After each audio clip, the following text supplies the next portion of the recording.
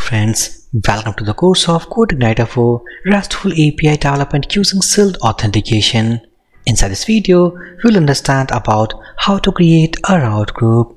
If I back to editor, inside the last video, we had seen and understood all about the concept of route methods. Now this time, we'll understand a concept that is how to create a route group.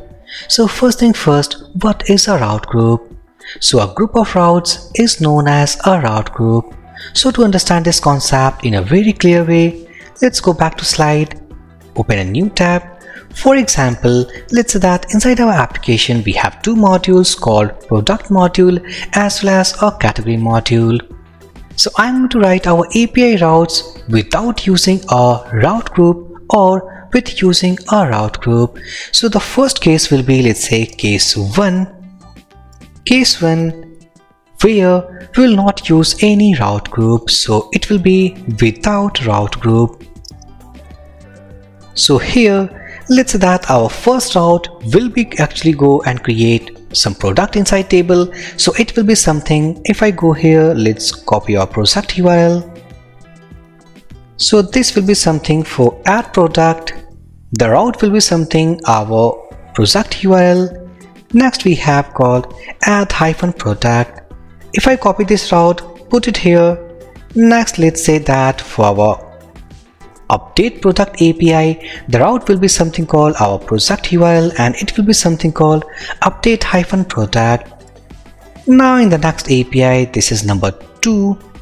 This is number 3. So if we write here for delete product, our route will be something called delete hyphen product so this is the case and once we write the other apis for category module here it will be number 4 and let's say that add category. Let's copy put it here. This is our fifth number out. And it will be something let's say delete hyphen category. So we can see that here we have our api routes. These three routes of our product module and two of routes of category module. Here we didn't use any concept of route group. So while calling all these APIs, as simple as that, we need to copy this URL, go to Postman or browser and simply we need to hit that. And one more thing, inside each route, we are not clear that which route belongs to which module. Once we go inside this route here, then we can say that this is for our add product, this is for update product and this is for add category. There is no route specification. Now here comes the concept of a route group.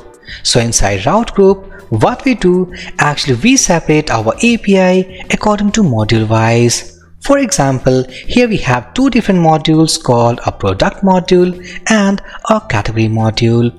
So we'll separate all these routes into their route groups and the first group here will be product and the second will be category. So what I will do here in terms let's say this is for the case 2 it means with a route group now next, what I will do, go here for this first API that is for add product. And as we know that this is for the product module, so instead of adding all times product into URL, I will create a prefix here. So before this URL, I will add product as a prefix here.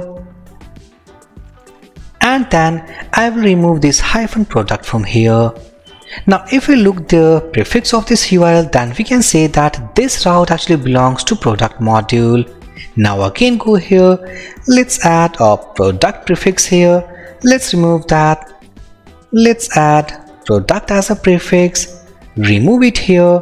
And this is for the category. So I will remove add a forward slash, this is for the category module, delete forward slash and this is for category module.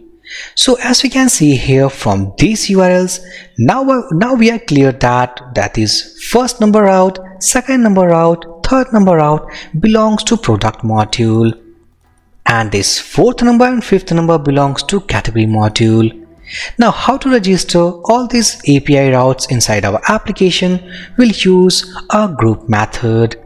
Let's go here, go inside app, config, let's open routes.php routes.php and here First I'm going to create some routes without having a group. So here let's say routes. I will use first get method and let's add hyphen product.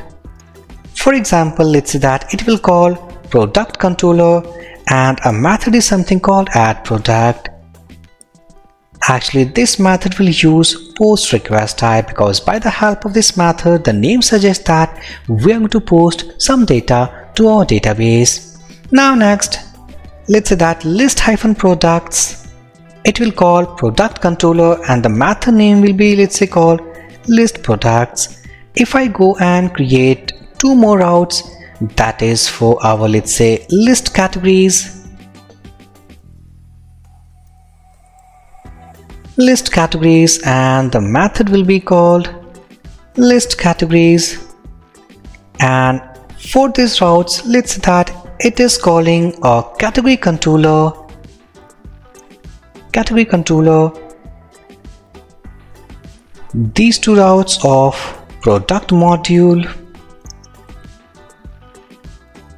And here I will add let's say for this category module let's copy this post method put it here and this will be something add category add category add category. So as we can see that we have created two different set of routes first for the product module and second for the category module. But these routes we have registered without creating a group now let's understand all about to create a group. So what I will do, go here, let's say routes. I will call group method. As I told you that here we have two sets of route that is for the product module and category module.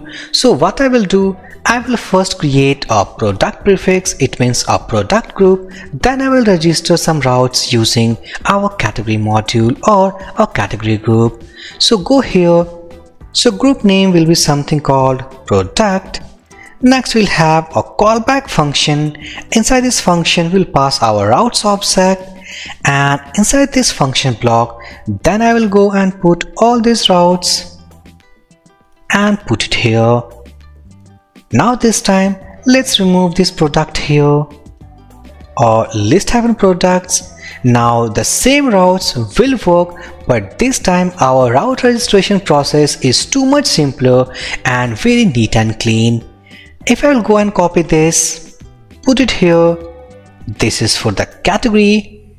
I will cut all these routes, put it here. Let's remove these categories from here category from here. Now this time this is also very neat and clean and it is showing that these two routes of category module. So while calling these routes for this specific set we to add product as a prefix before calling our route and for the second set of routes we to add category as a prefix. So this concept is too much useful if we have the multiple modules inside our application in some cases, you will see that inside a single application, we'll have some a customer profile. It means customer module, seller module. We have different types of admins and so on. So in those cases, we can implement our route registration processes using a route group. So in the next video, we'll see some more different concept. So for this video session guys, thank you for watching and have a great day.